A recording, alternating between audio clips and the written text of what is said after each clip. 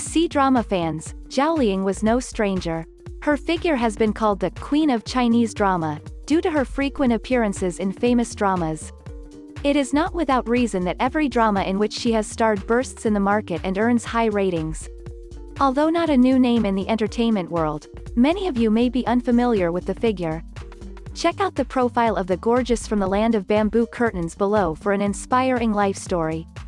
Zhao Liying, a well-known Chinese actress, was born on October 16, 1987 in Langfang, Hebei, China.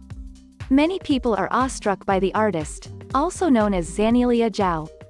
Not only is Zhao Liying's visual capital stunning, but her acting ability in every character in the drama is equally spectacular.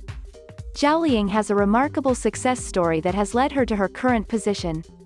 Zhao Liying grew up in simplicity before becoming a great artist. She was a farmer's daughter who grew up in the village. Although she was never shy about admitting her past, Zhao had received many scathing comments from people who thought she was unfit to be an artist because of her background as a farmer's daughter. However, Zhao seemed to reply to it with a nick of achievements that she had achieved. Zhao began her career in the entertainment industry in 2006. She won the talent program, Yahoo Search Star Game. This Libra woman made her acting debut in the family drama Golden Marriage in 2007. Following that, Zhao Liying continued to hone her ability in a variety of supporting parts, including those in the plays Spring Goes Spring Comes, Four Women Conflict, and A Husband and Wife. Zhao Liying took up the lead role in the drama Amateur Imperial Bodyguard for the first time in 2010.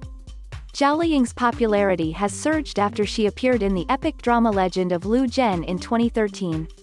She acquired popularity in South Korea and Japan as a result of the drama.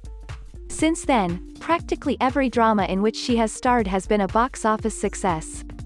That is how she gained the moniker, Queen of Chinese Drama Ratings. In 2017, she was placed fourth on Forbes's China Celebrity 100 list. A series of popular dramas that have starred, among others, Journey of Flower and The Journey of Flower 2.